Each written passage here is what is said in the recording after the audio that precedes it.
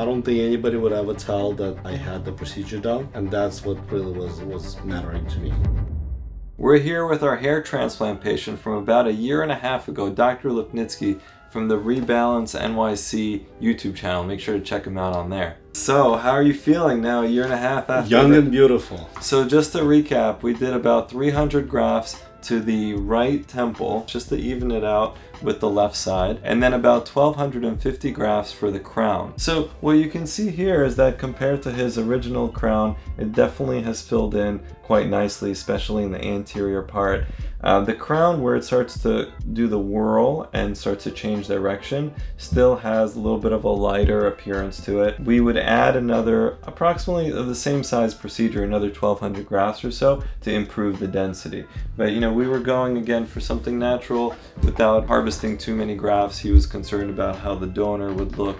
So we went with a um, more conservative approach for the crown, but one that definitely uh, improved the situation and improved the crown, uh, but but can you know can use more density. Well, I, I think originally I really wasn't going for this uh, overgrown hair look right? I just, you know, realizing at 50, you meant to have some sort of uh, areas of lost hair, which is yeah. normal. Yeah, at this point, I think, uh, I mean, I like the result. I would uh, definitely uh, like to, to reseed it just a little more, especially that now with it, we know that uh, just a little spot kind of left bare, but right. Uh, Otherwise, uh, yeah, it looks very natural, and uh, I don't think anybody would ever tell that I had the procedure done.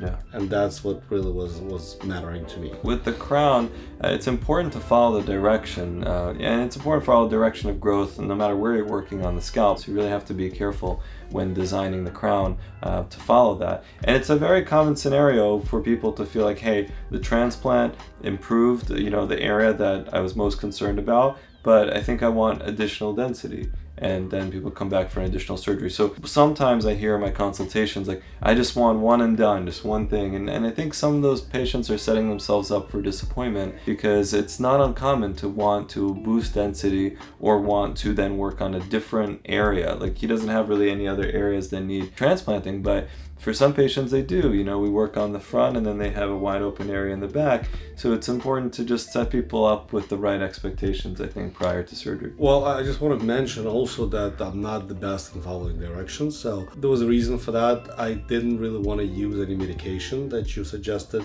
and even though you know they definitely help and probably i should have but i didn't use any medication and i didn't use any uh, special hair products to stimulate neither that i had uh, any any PRP done since the procedure. Mm-hmm. So that's something that uh, uh, probably could have been improved.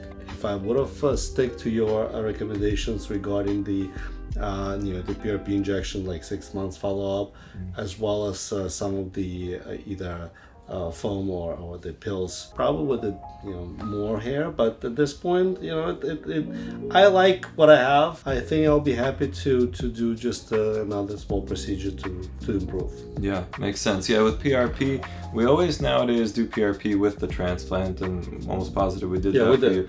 And then post-operatively it's optional we tell people but you know some patients choose to come in three months six months and nine months after surgery to help you know improve the speed of recovery and, and all of that and the regrowth. And then when it comes to medical therapy, our first line is always finasteride and minoxidil. And of course, medications have potential side effects, so people have to always weigh the pros and the cons. For our younger patients who are like in their 20s, sometimes late teenage years, sometimes we won't even do the transplant if they're not willing to be on medical therapy because there's just so much risk for them to lose a lot more hair. And when they want a slightly more aggressive hairline, you have to be careful, you know, because we want them to be happy with their results, you know, decades later, not just, you know, know, two years later. For patients who are a little older, you know, and their hairline is, is fairly stable, um, there's still progressive loss that happens slowly over time. Um, that's what Dr. Lipnitsky is experiencing to a degree, but definitely that rate of loss is much, much slower than in a much younger patient. So, you know, medical therapy can still help, but then you just weigh the, the pros against the cons. And make sure to check out feelconfident.com. That's where we have affordable medications that, that we frequently recommend, the minoxidil and finasteride that you can get usually at better prices compared to all the other uh, online platforms and sometimes cheaper than even your local pharmacy. Yeah, I mean, I think we'll plan for an additional touch up uh, procedure in the near future and that'll make it even better. Sounds good.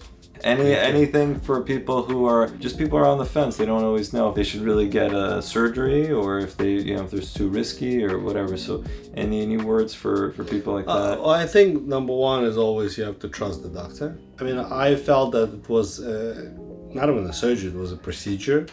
It took you know six hours or so, whatever it took, mm-hmm. but uh, it was just a procedure. It was very comfortable. I was actually working while you were doing it, and I was just writing stuff. Yeah. And uh, and uh, days after that, uh, maybe a couple of days, uh, not even pain, just comfortable is the fact that uh, I had to close the, the, the area with a with a hat. Uh, yeah. But but I went to work the next day. It was all kind of easy way out from that point. It was just yeah, walk in the park. That's why I don't even have to think twice of going doing it again. I just I know it's going to be another quite an easy time. Yeah, and from my perspective, it's always about having the right team in place and uh, it's not just the, the work that I do, but it's, there's a big team effort that goes into a hair transplant. It takes a village, I like to say. So you know, having the right team in place is so critical for not just the experience uh, for, of the patient, you know, like how they feel the day of, because if people make them feel you know comfortable and safe, and you know that that they have their patient's best interest in mind, that's that's uh, I think sometimes equally as important as just like good technical skills. So people who work with me, uh, you know, both of those elements are there, and, and that's why I think people have a good experience. Yeah, definitely great team. I mean, they they fun, they they easy to work with. For me, at least, I felt like it was a great environment, uh, and uh, that's why the day flew by real quickly and. Uh, I'm sure you had an easier time having a good team next to you. So yeah, always, always. Thanks for trusting us. Thank you.